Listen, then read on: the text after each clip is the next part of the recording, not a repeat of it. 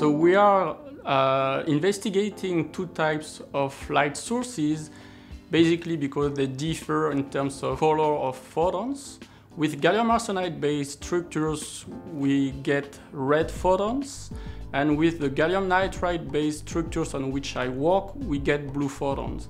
And basically, with blue photons, we can see smaller features on our samples, so we'll get a better uh, resolution, which is of interest for uh, any studies. But it's a much more challenging goal than with gallium arsenide-based structures. An extra challenge when considering gallium nitride-based heterostructures deals with the electrical injection. It's more difficult than with uh, red emitting structures.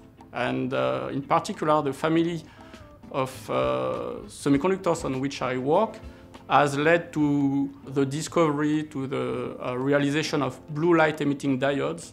And those diodes, they appear only 20 years ago because electrical injection is a challenging task. And uh, the people who were responsible for this discovery were awarded the Nobel Prize in Physics for that. So now it's something which is better understood, but it's much harder than with gallium arsenide.